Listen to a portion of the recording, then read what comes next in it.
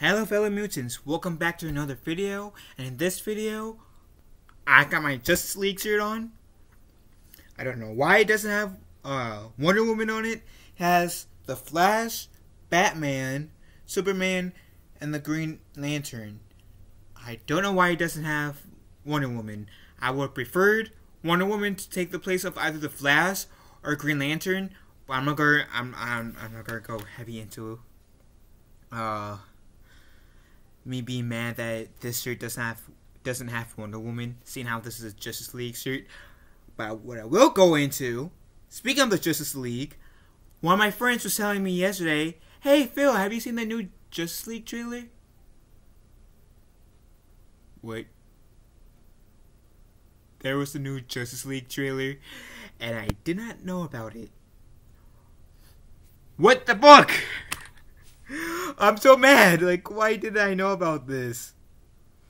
So, what I will do, uh, Justice League, I'm to find the trailer on YouTube. That down to the trailer on YouTube? Too bad it's to be on HBO Max. I don't know if I'm, like, see, I'm a bit. I'm a. I'm a big like comic book nerd. Like I'm more into like the comic book mo- based movies than I am into like reading more comic books. But I still kind of consider myself as a comic book nerd because I do read comic books. So Wonder Woman, like not Wonder Woman. So when we quick recaps before I go into the actual trailer when the Snyder Cut of the Justice League was announced, I was like, okay. I mean, I wasn't the on the side of, hey, we should get the Snyder Cut, but I was an anti-Snyder Cut, and what I mean by that is that I wasn't really focal on which side that I want was on in terms of pro Snyder Cut or anti Snyder Cut, if that makes sense. And the more and more that I think about it, the more and more in my I am in my head I was am thinking that I am pro Snyder cut. Cause let's face it, the Justice League movie that was in the theaters could have been better. Could have been better. And hopefully the Snyder Cuts version of the Justice League is better. But enough said. I've been rambling on for pretty much three minutes now. And like three seconds from now it's gonna be three minutes. Let's play the trailer. Here we go.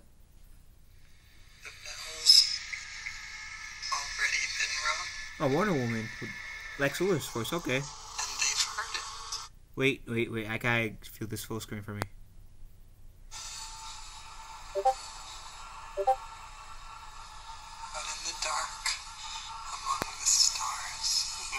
Is that Darkseid?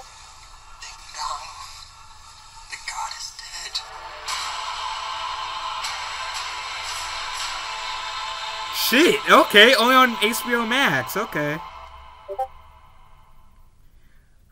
Why is it 34 seconds long? I gotta say it one more time, I gotta say it one more time.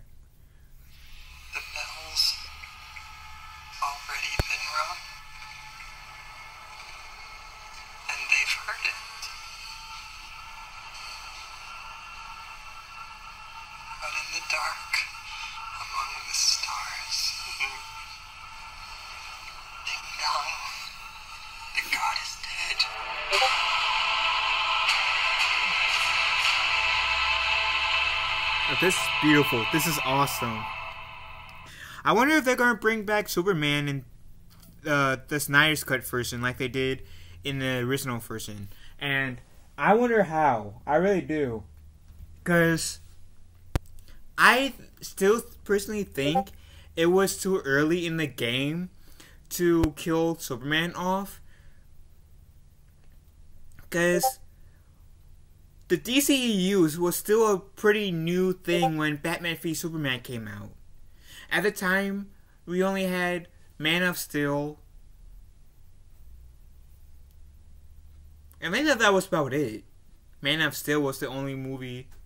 And Suicide Squad, I believe, was out too at the time. might have came out like shortly after Batman vs Superman. I kind of forget, but I remember Suicide Squad released like either shortly before or shortly after. Uh, I think it was shortly after Batman vs Superman. So never mind. So I think it was like before Batman vs Superman. It was only like there was only one movie in the DCEU, and that was Man of Steel. So, I like I said, I think it was too soon to have killed off Superman. Now, if they decided to kill off Superman in Justice League, for example, where we have at the moment Batman vs Superman, Man of Steel one, which I've heard that they're planning to make a sequel. I don't know if that's true or not. We have an Aquaman movie, a Shazam movie, a Suicide Squad movie, a Birds of Prey movie. I haven't seen Birds of Prey, but I heard bad reviews of it. We have six movies out. Six movies out in the DCU. The I'm going to discount the original Justice League for argument's sake. So let's say we have six movies. In the seventh movie, being the Justice League, I feel like with the seventh movie we can kind of get away with them killing off Superman. Cause we're seven movies in. Yes, we aren't really that attached to this version Superman yet, but I feel like we. I feel like they would have been able to get away with it a bit more now than they would have been by the time Batman vs Superman came out, which was like the second film in the DCEU slate. And correct me if I'm wrong about that. So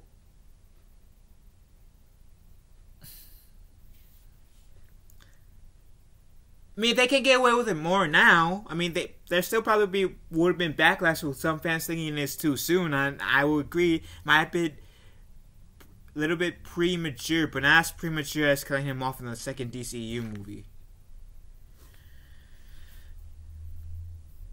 But yeah, I like I said, I wonder if they're going to resurrect Superman, and I wonder if uh, Ben Affleck's going to be Bruce Wayne again. I was watching this one video, I think it was on Popcorn Planet, where they were saying that they should have had the Flash movie, regardless if it's going to be Ezra Miller or someone else playing the Flash in the Flash movie, because uh, what happened to Ezra Miller, I don't know if he's going to still be the Flash or not.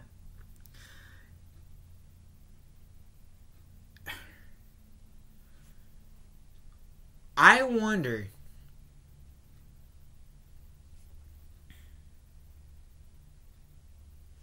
uh, one. I'm trying to remember.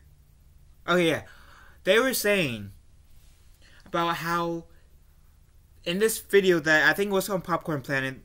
Now I am thinking about it more. Where they said somebody said on that video that I'm referring to that they think that crap. But I don't know why I'm having a brain fart. But no, no, no, no, no. Now I remember that they were playing that they should have had it where the Flash kind of did the whole multiverse thing. Kind of like how the Arrowverse has it, where they have different Earths, which is Earths are like different dimensions, and they do do they actually do they actually they are actually have they are kind of heavy handed in the multiverse in the Arrowverse, especially the Flash show. I mean, there's like Earth 2, which is like the most prominent Earth that the Arrowverse characters will go to, specifically the Flash. There are different versions of Harry Wells that we've seen in the Flash show. We've seen different like versions of Superman in the Arrowverse. There's the Supergirl Flash, I mean Supergirl Supergirl versus Superman, like the TV show.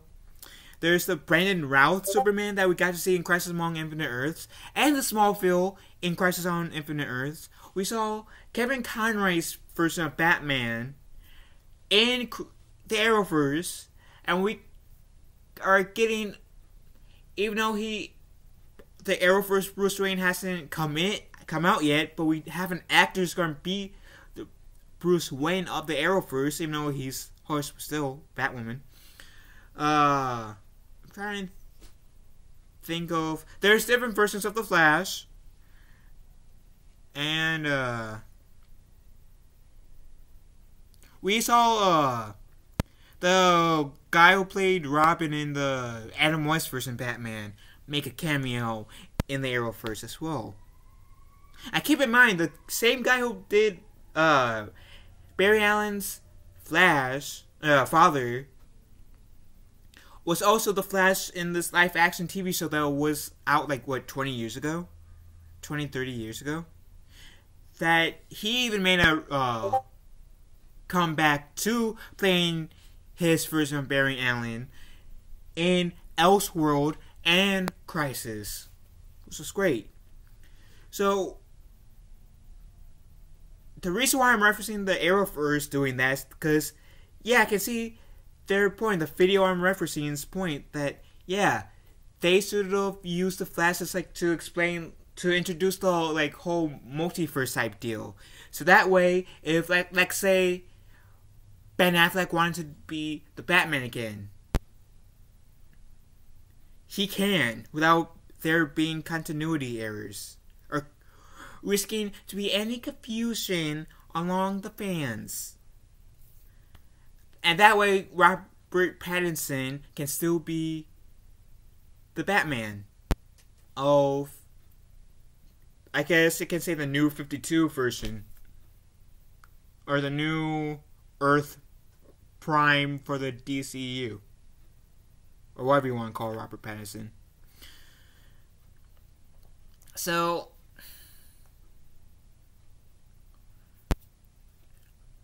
yeah, I, I, I am excited for the Justice League.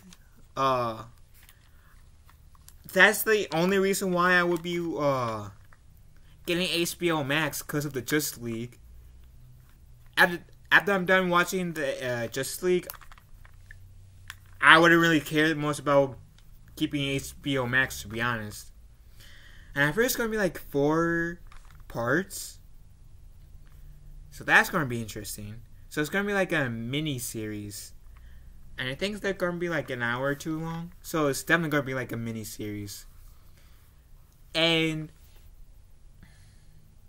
it'll be interesting to see which version will be canon for the DCEU, assuming that they don't go the whole different dimension, different Earths route, like the Arrowverse does.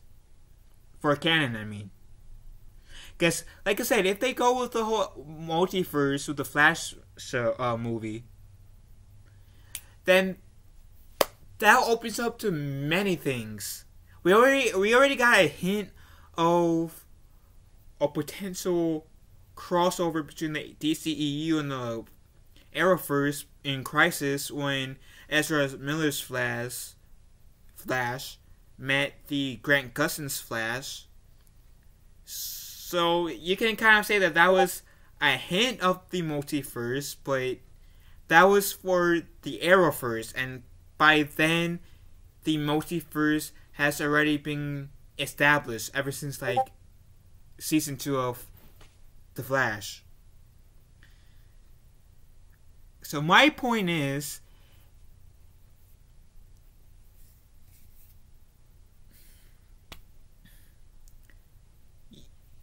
I'll be up for a like the Flash movie opening the doors way doors to the multiverse. That way we can kind of still follow the Robert Pattinson's Batman and if uh Bat Batfleck decides to come back, he can be Batman too, and maybe we can get a movie version of Crisis of Infinite Earths with the DCEU characters, if that makes sense. And maybe who knows? Maybe we'll be able to get Stephen Amell to come back as Green Arrow because I've heard that he's has no plans to come back as the Green Arrow in the Arrowverse. So maybe we can like if the multiverse thing happens in the DCU, maybe we can get Stephen Amell to reprise his role as the Green Arrow. Do you know how many fans, present party included, would be happy if that happens? Like seriously? But yeah, I'm I'm honestly interested in what they're going to do with it.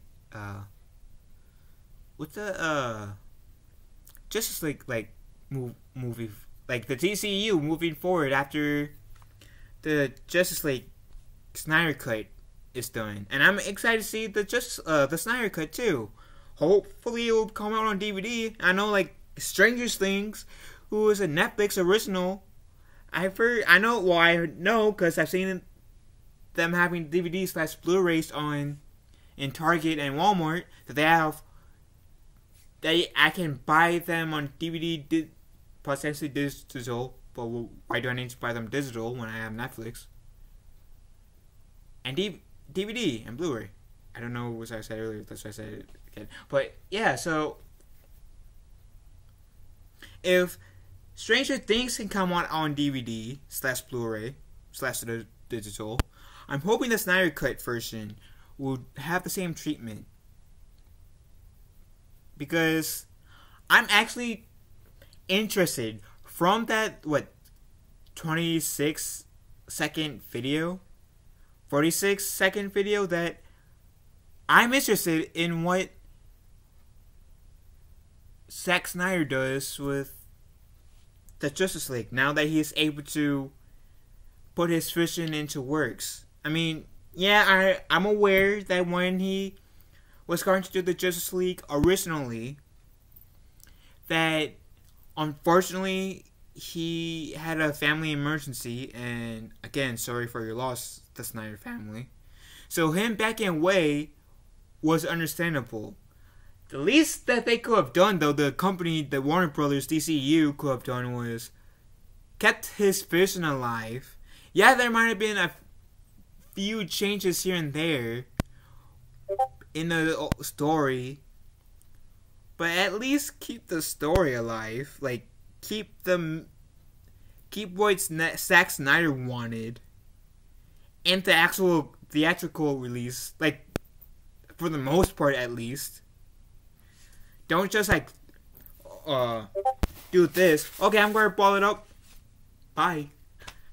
They should they should have treated him better like his vision better, especially with him having to, with him going through something hard. And it would be hard on anyone with what he had to go through. But that's just me. That's my opinion. But long story short, I am excited to see Zack Snyder's version of the Justice League. And I am hoping that we will be able to get uh, like this multiverse in the DCU, like having